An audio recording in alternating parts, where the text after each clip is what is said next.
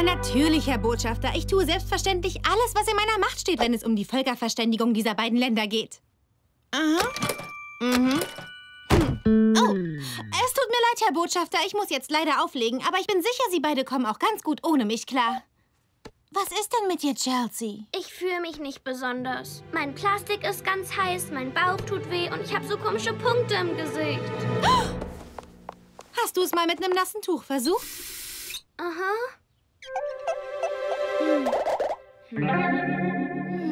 Ich befürchte, du musst zum Arzt, Chelsea. Ich sagte, ich glaube, du musst ganz dringend zu einem Arzt. Warst du nicht schon mal Ärztin? Genau. Uh, Torte. Verzeih, dass es so lange gedauert hat, aber Frau Doktor hat jetzt Zeit. Sitz hier ja auch schon ewig. Zuerst musst du aber all diese Formulare ausfüllen. Das hier, das hier, das hier und das hier. Erledigt. Hey, was machst du? Uh, beschreib doch mal deine Symptome. Mir ist heiß, mir ist schwindelig und übel. Ich habe überall Punkte. Und jetzt tut auch noch mein Handgelenk weh. Was tust du da, hä? Ich will nur helfen. Helfen ist genau mein Ding. Skipper beteiligt sich sonst nie bei sowas.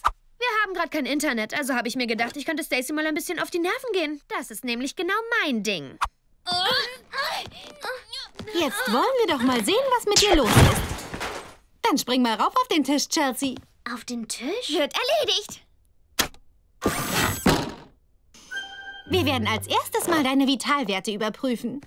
Hm, komisch, ich höre rein gar nichts. Perfekt. Was kommt als nächstes, äh, Schwestern? Reflexe? Genau.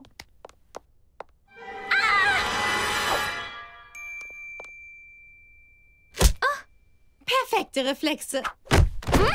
Jetzt werden wir gleich Gewissheit haben, was mit dir los ist. Lange Flanke Nein. auf rechts außen. Kenn ich schon. Aha.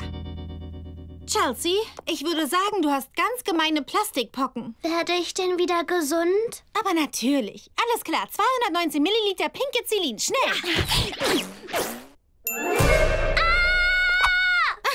Stacy, das ist doch die Spritze für Pferde.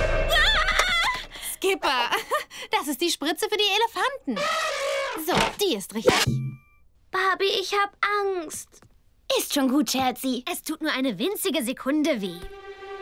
Aua. Hey, mir geht es schon viel besser, Leute. Dankeschön, Barbie. Was? Das glaube ich ja einfach nicht. Oh nein. Ich habe mich angesteckt. Wir haben Plastikpocken. Ich hol mal eben das pinke Zelin. Es tut nur eine winzige Sekunde weh. Ah!